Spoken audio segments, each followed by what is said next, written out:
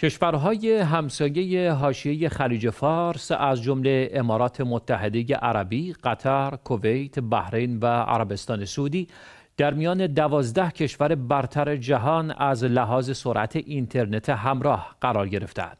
سرعت اینترنت امارات متحده عربی ده برابر ایران برآورد شده است. با هم گزارش فاطمه موسوی را ببینیم. بر اساس تازه ترین فهرست وبسایت جهانی اسپید تست که ردبندی کشورهای جهان بر اساس سرعت اینترنت همراه و ثابت را اعلام می کند میانگین سرعت اینترنت همراه و ثابت جهان در نوامبر 2023 به ترتیب به 48 ممیز 61 و 90 ممیز 21 مگابایت بر ثانیه رسید. این در حالی است که میانگین سرعت اینترنت همراه در ایران در همین تاریخ 31 ممیز 82 و برای اینترنت خانگی و ثابت نیز تنها 12 ممیز 76 مگابایت بر ثانیه بوده است. جدیدترین گزارش اسپید تست نشان می دهد میانه سرعت اینترنت موبایل و ثابت جهان در 11 همین ماه 2023 میلادی یعنی نوامبر به ترتیب 48 ممیز 61 و 90 ممیز 21 مگابایت بر ثانیه بوده است. اکنون اسپید تست می‌گوید در ماه نوامبر جایگاه ایران در ردبندی سرعت اینترنت میان کشورهای مختلف جهان در حوزه اینترنت همراه و موبایل تغییری نسبت به ماه گذشته میلادی نداشته است. و این کشور همچنان میان 145 کشوری که مورد محاسبه قرار گرفتهاند در رتبه 75 باقی مانده. اما از لحاظ سرعت اینترنت ثابت و خانگی با یک پله سقوط میان 181 کشور مورد نظر در مقام 154 قرار گرفته است. نکته قابل تعمل در این گزارش آن است که کشورهای توسعه نیافته‌ای همچون اوگاندا، موزامبیک، پاپا، گینه نو، نامیبیا، زیمبابوه و جمهوری دماغه سبز در دو ماه اخیر با بهبود کیفیت و سرعت اینترنت خود در این جدول پیشرفت کردند و نسبت به ایران در جایگاه های بهتری قرار گرفتند. گفتنی است که انجمن تجارت الکترونیک که در ایران فعالیت می کند در گزارشی مفصل در تیر ماه سال جاری وضعیت اینترنت در ایران را بحرانی خواند و نوشت این کشور در بین صد کشوری که بیشترین تولید ناخالص ملی را دارند پس از میانمار دومین اینترنت پر اختلال و پس از چین دومین اینترنت محدود دنیا را دارد. بنابراین گزارش از اختلال اینترنت در ایران به عنوان موضوع اصلی اعتراض شدید کاربران یاد شده است. انجمن تجارت الکترونیک تاکید کرده که این اختلال عمدی است. در این گزارش آمده است که احتمالاً به خاطر مقابله با VPN ها اختلال های عمدی روی تمامی آیپی ها و ارتباطات کشور وجود دارد. بر اساس این گزارش با سیاست جدید و غلط فیلترینگ هوشمند وزارت ارتباطات ایران اختلالات همگانی و گسترده‌ای بر روی اکثر وبسایت ها و آی پی های جهانی به وجود آورده است. همچنین به نظر می رسد حکومت ایران سیاست های تشویقی و مالی نیز در زمینه فیلترینگ پیش گرفته است. از جمله بنابر یک مصوبه دولتی که بهمن ماه سال 1399 به تایید رسید اپراتورهای اینترنتی می توانند با سرمایه گذاری و خرید تجهیزات فیلترینگ و نصب آن در داخل شبکه خود از تخفیف 10 تا 15 درصدی خرید اینترنت از دولت بهره‌مند شوند. ایرانسل و همراه اول هر دو با نصب تجهیزات فیلترینگ از این تخفیف دولتی بهره‌مند شدند. بر اساس این تحقیق اختلالات عمدی حکومت ترافیک بایت های رد و بدل شده با سرورهای خارج کشور را به دو برابر افزایش داده است که عامل اصلی کیفیت پایین اینترنت برآورد شده است. این در حالی است که عیسی زارع پور وزیر ارتباطات و فناوری اطلاعات در دولت ابراهیم رئیسی در چند روز اخیر آذر ماه مدعی افزایش چشمگیر سرعت اینترنت در ایران شده است. مقام های مسئول در ایران همچنان با پایین نگه داشتن عمدی سرعت اینترنت جهانی و حفظ فیلترینگ گسترده بر روی اینترنت آزاد و رسانه های اجتماعی پرطرفدار تلاش می کنند تا مانع از دسترسی آزادانه شهروندان به اطلاعات و اخبار شوند. همچنین در پاییز سال گذشته به دلیل اعتراضهای سراسری اینترنت های همراه و خانگی در شماری از شهرهای ایران در بسیاری از ساعت شبانه روز به طور کامل قطع شده بود. پس از همه گیر شدن اینترنت، گوشی های هوشمند و رسانه های اجتماعی فضای مجازی برای حاکمیت ایران به یکی از حوزه های بحرانی به ویژه هین اعتراضات مردمی بدل شده است. فیلتر کردن، کاهش سرعت و نیز تلاش برای کنترل فضای مجازی و رصد صفحات شخصی شهروندان در اینستاگرام و شبکه ایکس، توییتر سابق در دو دهه اخیر پاسخ حاکمیت به این حوزه حیاتی در زندگی مردم ایران بود.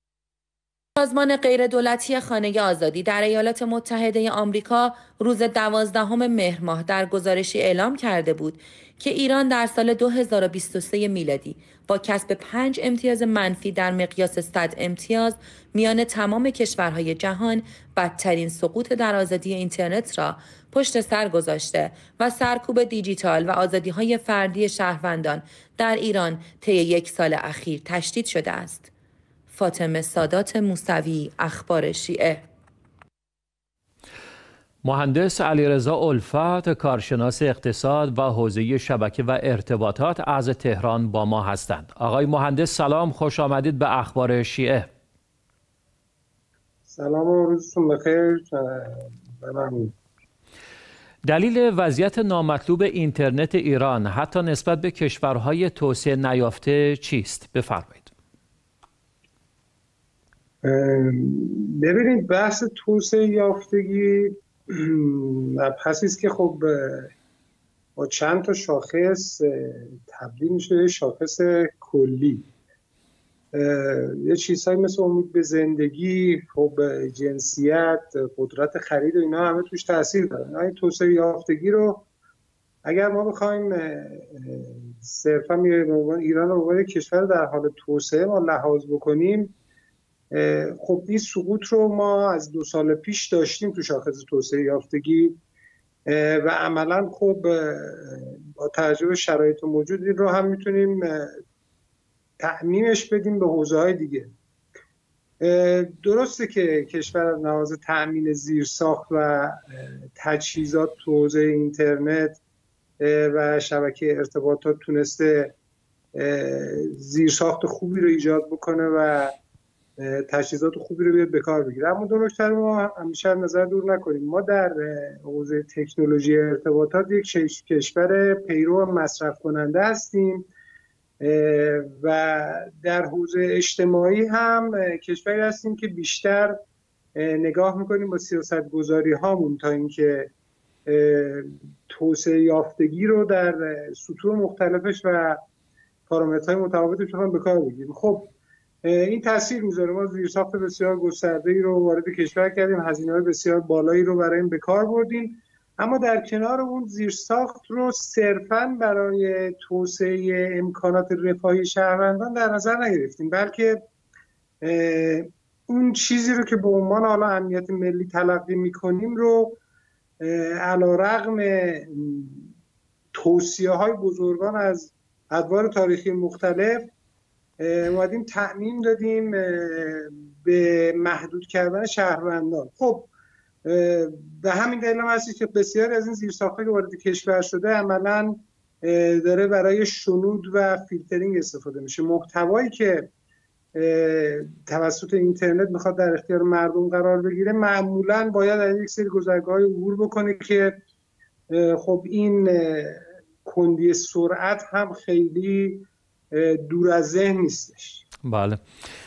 جناب مهندس چرا علیرغم سطح بالای دانش و آگاهی متخصصان این حوزه در ایران وضعیت اینترنت ایران اسفوار است؟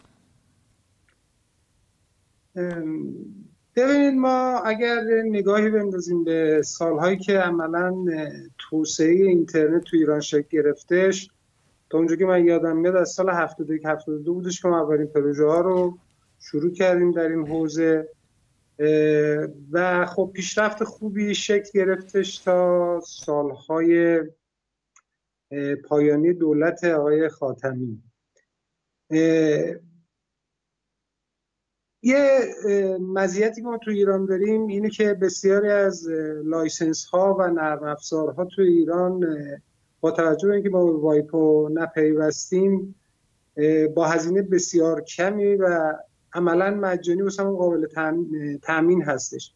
در این زمینه خب بچه های بسیار خوبی از ایران رشد کردن با فرصتی که به وجود اومده بود و می توانستن تجاربی رو به دست بیارن که تو بقیه نقاط دنیا این تجارب رو به دست آوردن هزینه بالایی داشت. خب رشد بسیار سریع شکل گرفت. بسیار بچه های کسایی که در این حوزه کار می‌کردن تخصص بالایی پیدا کردن. خب این تخصص بالا از نظر کسانی که تأمین محتوا می‌کردن و حوزه های مختلف کشور رو رهبری می‌کردن در صرفا توسعه باز هم من اشاره می‌کنم امکانات رفاهی و ارتباطات برای حل مشکلات مردم شکل نگرفتش ما بسیاری سرویس هایی رو به وجود آوردیم. این سرویس ها در کنارشون متخصصین فراوانی تونستند تجربه های بسیار زیادی کسب بکنن ولی در عین حال ما این توسعه یافتگی رو در حوزه فیلترینگ و در حوزه نظارت امنیتی و شنود هم داشتیم.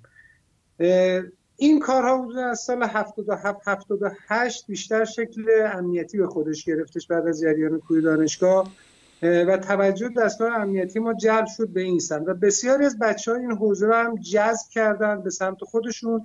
و بالاخره خب نمی‌تونیم بگیم که جوانان ما هیجان قرار گرفتن در یه سری محیط های مدلی رو نداشته باشن. خب من بهشون حق میدم وارد این حوزه ها شدن و تخصصشون رو در این حوزه به کار گرفتن و بسیار هم متخصص شدن. شاید ما بتونیم بگیم که در حوزه فیشینگ و hacking و فیلترینگ و اینها بهترین متخصصان جهان هم داریم. خب این تخصص رو در جای خوبی به کار نگرفتیم و در این حال همین بچه ها همینجوری که سنشون بالاتر رفتش قاعدتا از این دایره خارج شدن متوجه شدن دارن چه کار می‌کنن و بسیاری از این متخصصان رو ما از دست دادیم. امروز ما توی کشور متاسفانه دوچار یک فقر متخصص شدیم در حوزه ارتباطات و زیرساخت. در حوزه نرم افزار هم خب بچه های بسیار خوبی داریم ولی متاسفانه بله. باز این رو هم می‌تونیم بگم به صورت دارن کشور خارج میشن یا جذب به عبارتی نواقع امنیتی میشن برای اینکه بتوانند تجربیاتشون رو